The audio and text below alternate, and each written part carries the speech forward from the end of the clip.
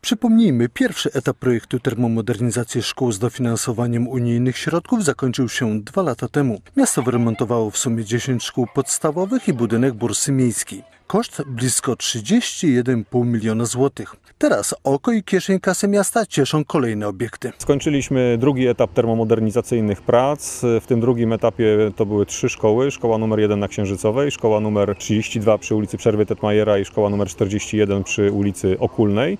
E, Wszystkie te szkoły to kwota sumaryczna e, 6,3 miliona złotych przy 3 milionach 400 tysiącach złotych dofinansowania. Także zmienia nam się ta infrastruktura w Częstochowie i dobrze, że dzięki tych, tym pieniądzom zewnętrznym udaje się zaspokajać potrzeby mieszkanek i mieszkańców e, i mieć satysfakcję z tego, że rzeczywiście e, będą to dobre warunki do pracy, nauki e, i spędzania wolnego czasu. Patrząc teraz na szkołę numer 1, można odlecieć z zachwytu.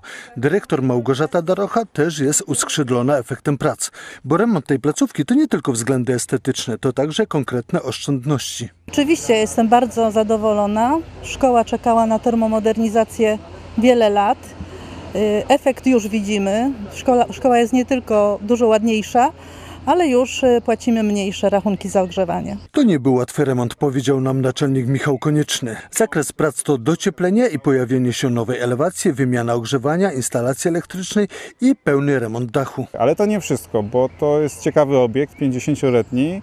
Kiedy opracowywana była dokumentacja projektowa, okazało się, że pod pasami okiennymi nie występuje wypełnienie w postaci muru. Było tylko blacha i wypełnienie w postaci wełny mineralnej, więc należało to wszystko podmurować. Więc z punktu widzenia logistycznego był to duży zakres robót, którego w tej chwili nie widać, a o którym też chcę powiedzieć, bo e, to taki trochę ewenement na mapie Częstochowy. Taki był stan zastany, trzeba było to zrobić. Zrobione jest do porządku, więc e, tak naprawdę cieszy efekt. Joanna Woźniak, dyrektor 41, powiedziała nam, że nawet Matejko ładnie by nie pomalował ich szkoły. Termomodernizacja naszej szkoły przyniosła bardzo duże korzyści pod względem ekonomicznym, ekologicznym, ale i przede wszystkim estetycznym, tak jak właśnie widzimy.